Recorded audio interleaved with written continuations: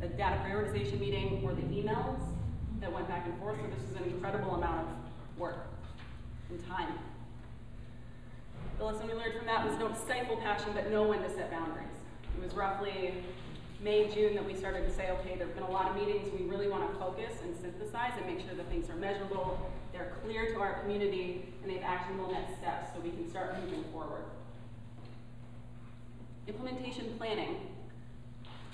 There's a lot of opportunities and barriers that are associated with implementation of the CHIP, and I think that this is really what we want to talk about today. Uh, first of all, we're a small community with existing collaborations. The partnership between Jefferson Healthcare and Jefferson County Public Health is incredibly strong, and this process made it stronger. And there's a lot of groups in the community that work together. Discovery Behavioral Health, uh, the city, the county, everyone is at the table, and so it's a huge opportunity to keep those relationships moving forward. We also now have an understanding of what needs to be done and the passion and drive to do it. That being said, some of the barriers are continuing that enthusiasm. It was a three-year process. By May and June, people were starting to get fatigued by coming to all these meetings. And so maintaining that over the long term is something that's going to be difficult.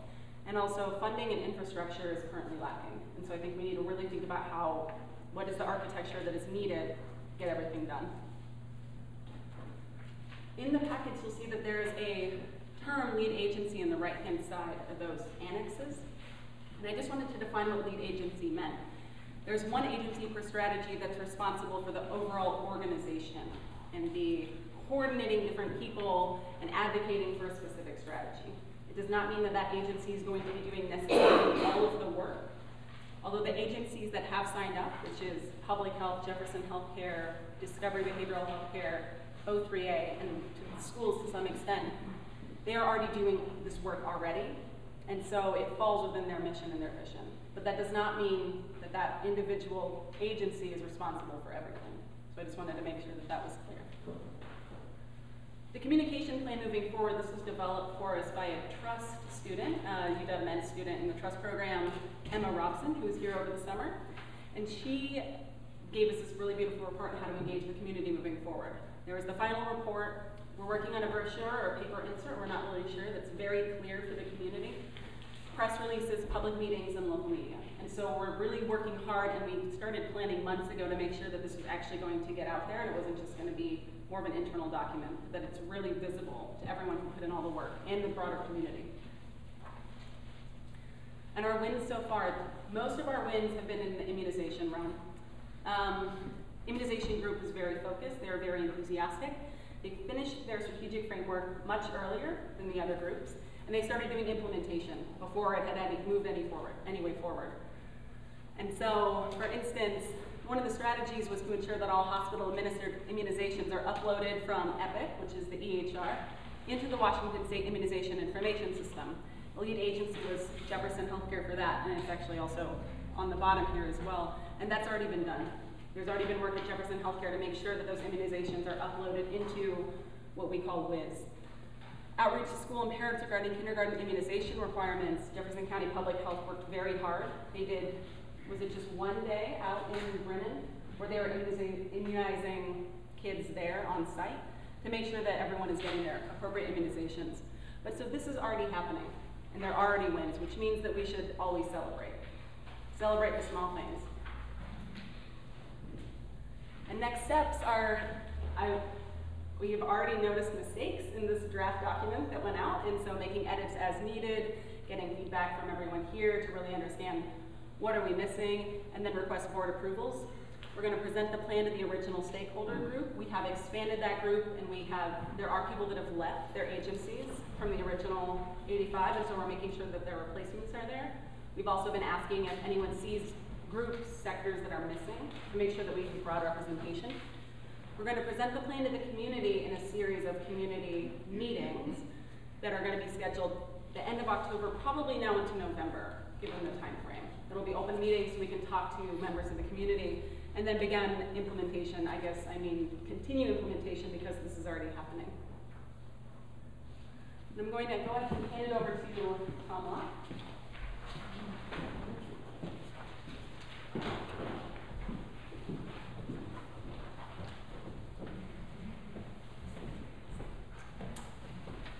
Well, thanks. Well, I've, I've been uh, asked to do sort of the wrap up and address the question of where do we go from here? And as Judy has, has just, uh, in, in her final slide, uh, has outlined, we, we have several concrete steps. Uh, one of the most important is what we're doing right here today, and that is seeking the support of our respective policy and governance boards. So the Board of Commissioners for the Public Hospital District, the Board of Health uh, for the, the local health jurisdiction. You know, the, these are the boards that are officially empowered with, with the authority to uh, adopt this plan on behalf of the community. Uh, but, but that's just the start, because for a community health improvement plan to be successful, you have to do several other things. Uh, uh, first and foremost, you have to grow the partnership. Uh, uh, you know, even though we, we, we've looked very specifically and realistically at all these objectives, it's not something that we're going to be able to do just with the resources of the health department, uh, with, with the hospital district or, you know, uh, uh, certain additional volunteers. Uh, really successful community health partnerships, they, they expand. Uh, they, they set achievable goals, they attain those goals, and uh, in, in achieving the goals, they empower themselves to do more and more ambitious uh, things. And, and that leads to what is really the ultimate goal of all of this. And, and it's this very uh, uh, broadly supported, but, but very often not accomplished goal of actually improving community health. You know, as you look at all the health reform efforts that are going on in this country, in this state, uh, they all acknowledge that the ultimate scorecard for their efforts is improvement of population health. Uh, it doesn't, uh, you know, providing more medical services, providing more technology doesn't get us very far uh, if it's not actually making people healthier. And right now, as I think we all know, that's not what's happening in our country and our community. Uh, we, have got uh, our, our health status is actually declining. We have several unprecedented epidemics. We have a epidemic of type 2 diabetes. Have a virtual epidemic of obesity and sedentary lifestyle. Uh, we have an addiction or an opiate use uh, epidemic. these are all getting worse. And these are not the kind of things you can really solve with more medical care or more substance abuse treatment. Uh, you, you need to take a much more comprehensive approach. You have to really not look just at, at treating the, uh, the victims of the disease. You have to look at the determinants of it. And so that, that, that's what this project is, its ultimate ambition is to get at what, what are the things that really influence population health, uh, where are our leverage points, what can we, we do to positively affect it, uh, and then mobilize the kind of partnerships and coalitions necessary to accomplish that. Uh, what you see in this report is the, best effort of this very impressive group of community members as related to these four objective areas. We think all of these things are accomplishable, and we will be better off as a community uh, for having accomplished it. Uh, but it's really just the starting point, and it's a way of building this population and building belief in this, this concept of, of improving population health. Uh, and, and if we succeed at that, uh, th this will become a permanent process. And and the, the community will enormously benefit from it year after year after year as more and more goals get added to this, this list of priorities. Uh, so with that, uh, I, would like to open this to, to uh, uh any questions from board members. Uh, you know, uh, a lot of different people that have participated in this are here today and, and uh, ready to try to answer those questions. And also then just discussion among uh, yourselves about specific aspects of the plan. Uh, hopefully everyone's had a chance to go through it at this time and, and, uh, uh, uh, and, and uh, the, the re- the accompanying resolution, and ultimately, although we're, we're on no timeline to necessarily to accomplish this today, but moving the process forward towards uh, eventual approval and adoption. So with that, uh, open to discussion and uh, questions. Board. Yes, could I hear a little bit more about the plans in terms of having additional community input? I know there's an opportunity for public comment here. I'm wondering, is there any plan to take a road show down to Quilcene and, uh, you know, their community center and just get some input from folks who haven't been able to come up here? I think I can take that if you'd like, Kees. So we are, we are scheduling four community presentations, one in Port Townsend, one in Quilcene, one in Port Ludlow, and one in the tri, tri area, to be able to get out in the community so people can have an opportunity to comment on the plan. So we're, we're hoping to do that after there's board approval from these boards, that it's a semi-final plan before we do that. So the timing of those will be based on how soon you, you guys take action. But we're looking to do those uh, late in October, or early in November. Great, thank you.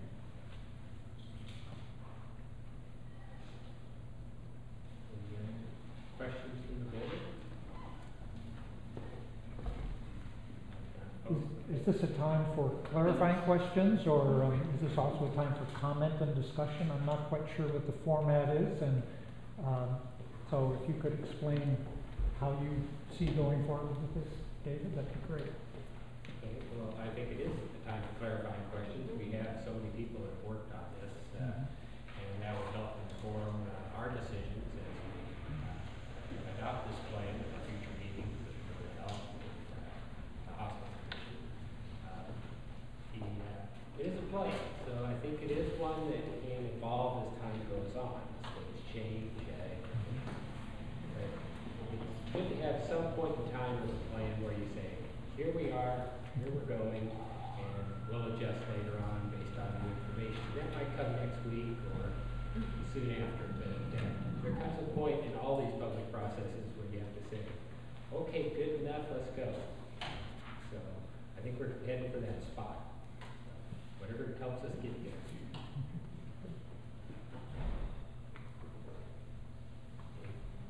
Yeah. Um, so I think we should give everyone a round of applause. This is amazing work. You know, I mean, this was. Know.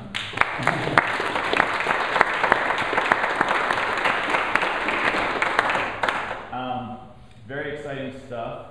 Um, and I'm just looking at it uh, from a, from the board level perspective, from both boards. The the key, I think, as you know, Tom was saying, is how do we make this a permanent process that is just ongoing? And to me, I'm just thinking, what is at, at the board level? What's going to be our monitoring uh, process? Like, and um, when are we going to do this again? Um, get together and see. I mean, that's going to be.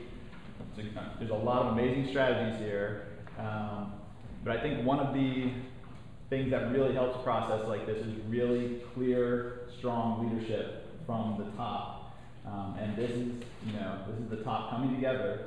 Um, so I, I'd hope, uh, I hope we, I mean, I, I'd be interested in what our ideas are. How often do we think like a joint board meeting once a year and um, might be the way? I mean, if, if that's the case, I'd, I'd be worried.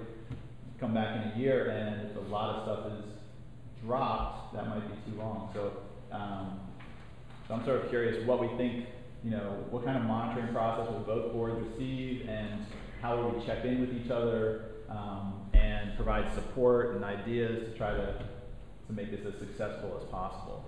Um, I'm thinking maybe we could have reports uh, periodically dual board, you know, collaborative, um, at a given time, like every year, uh, if that suits both boards. But I envision this as an ongoing process. It's gonna morph as we go along and things, we pick up more things and as Tom alluded to, you know, one thing feeds on, it kind of feeds on itself and we see more and more opportunities. So I, I envision that we would have a um, relationship. I perhaps hear behind Matt's comments as to, um, who are we going to designate? How are we going to fund the ongoing, um, data collection, data reporting, and, and the monitoring, which I think Dunya brought up in that one slide that says, we've already been doing this for three years, there was an immense amount of, I don't wanna say diversion, but utilization of staff and people throughout the county. And that part of the plan, I think we need to, that's the next part that we have to talk about. This is this great product, who's going to carry it, and again, monitor the implementation, and are there grants, how is that going to be funded? And and I'd like to add to that, infrastructure, some, uh, infrastructure to support those people who are working on it to, first of all, the funding, whether it's grants or, however we try to fund this. But I think the need for infrastructure because otherwise, everybody else who's working on these groups, these task forces, have other work, other jobs, other interests. And a lot of it's being uh, donated time, which is great, but I think there needs to be some matrix of infrastructure and financing. I'm wondering, do people see a, a logical point to check back in, whether it's data-driven, uh, this information becomes available, that's when you do it, or a time, uh, so that we don't forget, saying, oh, this time of year, this is when we do it, or? I would assume we're gonna have critical path timeline logical to the major milestones that the report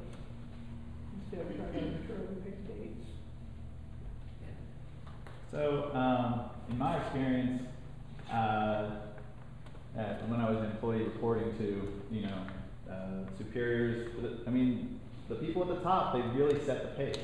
I mean, it's, it's what we say, if we say we want a, a report in a quarter, in three months, showing, just tell us what's been done in the last three months, that will pressure and, you know, that directs people to put some effort into it and work on it and focus on it. I mean, it, I mean, it starts right here. It's, I mean, we're, we're all, all elected, right? All, all put here to try to like, you know, um, give some guidance. That the, one thing that really jumped out on that board was there might be, um, might be too much in this, uh, plan. And the problem with having so many priorities is that it just disperses the energy and then uh, sometimes nothing uh, gets done. And so, and we can really help out here if we try to help focus the energies and say, um,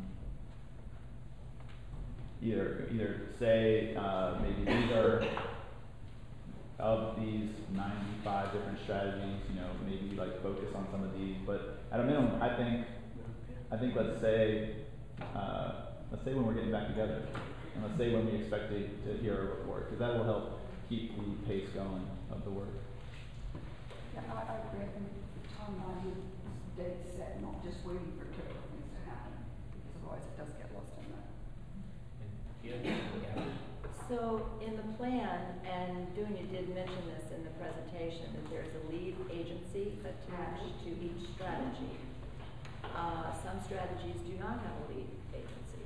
So, um, but I'm, I'm wondering, so the lead agencies hopefully know the strategies that they signed up for, or that someone signed up for them to do. Um, but what is the, what is the path of communication? This is a different path that's critical, I think, from lead agency, um, going about the strategy. Who's gonna be holding the strings? Is it John? Is it Tom? Is it Vicki? Is it Dunya? Who's holding the strings of what is actually happening in the strategy world that's building toward the objective and then the goal and, um, getting the measurement and the report that we would be getting back? That's what I would like to know. Do we know that at this point? Is, is there, Somebody? um, is it time for a, uh, for- for us to hire someone to fill that very role? Is that something that we might look at? Funding we has have to been- Figure out the funding, but I, th- I think it's, it is essential that there is some one entity, one person, or one person responsible to, to get everything uh, either together or to just dissipate the task. I think. Personally. I think Joe on a good idea that, I mean, everybody took time away from their day jobs to do this. And once this paper is created, and people are gonna have to go back and do what they do at the hospital and health department, and all other places, and try to find a minute here and a minute there to do this. I've been seeing, looking at some, forming some kind of agency that would be responsible for this. I know it's a funding issue, whether it's grant funding or whatever, but I think somebody who's solely focused on this, that doesn't have so many other things in their plate that just fall off into the shadows. Okay. Yes, I, I would totally agree with, uh, with Tony's thoughts there. Um, I mean, we do have people from the county, uh, from the hospital district, uh, from the city, um, and perhaps we could pool our resources and say, we're gonna share an individual, um, to really lead this process, because, um, I, I think that's important. And I think one of the reasons, I mean, this was a long process, and I think one of the reasons for that was that it was being led by people who had, you know, more than forty hour a week jobs already, um, just doing what they normally do. And, uh, so I think getting a professional person to help, uh, guide this process, uh, would be ideal. Then put, uh, professional person can put the energy into it, but I think uh, I mean, this community is incredible when it comes to volunteers. There's one given about volunteers, they burn out, they, they get tired, and, um, if you pick somebody who's full of energy and can really get behind the project, put some energy and time into it, I think things will really flourish. Maybe, maybe a retiring county commissioner or somebody. I don't know who that would be.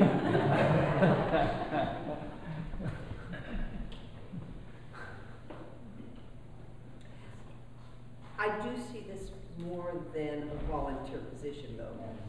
There has been so much time and expertise already put into this. It needs, it needs that same quality to hold the strings and carry it forward. And, um, this may be another opportunity for collaboration. How does this overlay or match up with, uh, our, our Olympic community of health that's going on? Vicki, can you speak to that? Because it feels like there might be, um, at some point, a crossing of paths. Yes, thank you, and that's, that's a really good point, in that there is also in the formative stages, as part of the Healthier Washington Initiative and health reform, uh, that's going on currently, regional accountable communities of health. And ours is called the Olympic Community of Health, which is a region of Kitsap, Jefferson, and Clallam counties. And one of their mandates under the, um, Healthier Washington Initiative is a regional health improvement plan. So, and a regional health assessment.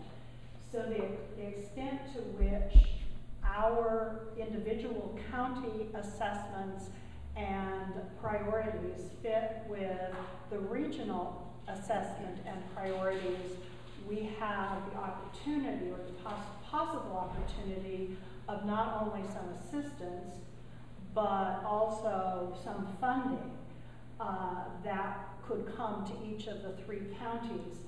Um, the Olympic Community of Health is still in that sort of formative phase. So the, um, but, but we have already begun the conversation around are there ways to um, uh, regionalize uh, our data collection and assessment uh, for those, those priorities that are common across the, the three counties. And fortunately, Siri is in fact the epidemiologist who has a portion of her time dedicated to the Olympic Community of Health. And she's very familiar with the data in uh, our counties, and uh, it, and she's the one that is, has begun those conversations with us around how might we be able to do this, do this together. Um, I think that there will be some opportunities. Exactly what those look like, I don't think we know yet.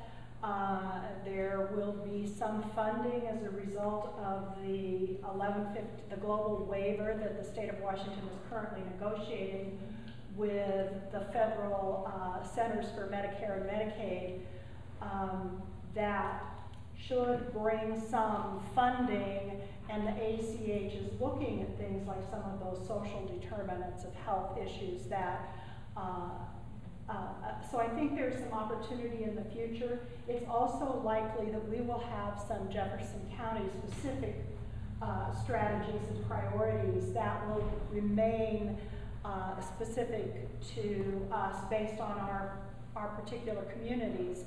And we'll want to, or still need to be able to collect the data and monitor that and um, uh, report on those things. But to the extent that we can get support from the Olympic Community of Health for what it is that we are doing here. Um, that is a hope of the future, and um, I think that uh, that's also the thinking of the executive director of the Olympic Community of Health as well. That um, we are sort of we are all in this together. What can we do around mutual support? So opportunity in the future, exactly what that looks like, I, I, I don't think we can say yet. Can I just add a quick thing to that, and that's that the, I think the issue there could be timing, that the counties are on a little bit different cycle with that, and so how we all get synced up in terms of when we're gonna do that assessment could be an issue, and we may need to provide an interim assessment if it's gonna be a long time before, just something for you guys to be aware of, that that could be an issue. Was just wondering when, when uh, there might be some uh, notion whether we've got glo- global waiver and, uh, and when that funding will be coming in. The, well, the original hope was that they would have the negotiations completed by the end of October. And I think they're still hoping that, that that will be the case. And then I think there will be a period of time as they analyze and assess what that money might look like what those strings are, how they roll it out, and talk about it with the affected, the healthcare and uh, public health communities. Um, I would say we wouldn't necessarily be looking at actual dollars in hand until sometime next year. Exactly when just depends on how quickly how quickly it goes and how many strings are attached to the dollars that come ultimately. But you know, we're uh, what we hear is we're talking about a, a, you know, a substantial amount of money that would be spread across the entire state. How that would be allocated to the individual accountable communities of health and what that, that allocation might look like, I'm not really sure. If it's, you know, will it, will it be on a per capita basis? Will it be project by project oriented, so specific funding, we make application for projects? That's how it's gone so far with the early uh, pilot projects has been uh, the ACH has uh, put a proposal together uh, for the healthcare authority and then they negotiate what that budget's going to be for that. And, and that may be how it continues in the future, uh, which actually, and this is just my own personal opinion, could be better for us in the long run than a strict capital allocation, which tends to uh, hurt the smaller counties. As we're shovel ready, if you like. Yep. That, that's it exactly. And, you know, I would anticipate the next phase is going to be, uh, uh, specific funding to groups that are ready to, to do something. Because the, the, the state's under incredible pressure to show results. And it, as you think, it's taken us three years to get to this point of, of really identifying the specific things we can do in this community and how we can measure success. And so, building this kind of effort and, and sustaining it and expanding it, uh, I, think is a very wise investment Because this, this is at the very heart of what health reform's uh, trying to do. And the Medicaid waiver, it's very hard, is, is acknowledging the fact the way we spend Medicaid money right now does not bias the health that we should be getting. We're not getting the bang for the buck. Uh, it, it, it's the federal government giving the state of Washington permission to spend the money differently. But that only raises the question, well, well how would you actually do that? Uh, and that, that's what we're trying to answer in the plan like this. If I may, from experience, we try to establish an ongoing program of continuity and base that on external funding. It's not a viable situation, short-term project, yes, long-term, no. As far as volunteers go, volunteers are a good support system, but as you mentioned, they burn out. Plus, my experience is that a volunteer doesn't seem to have quite as loud a voice as a person who's on the payroll when it comes to setting the table.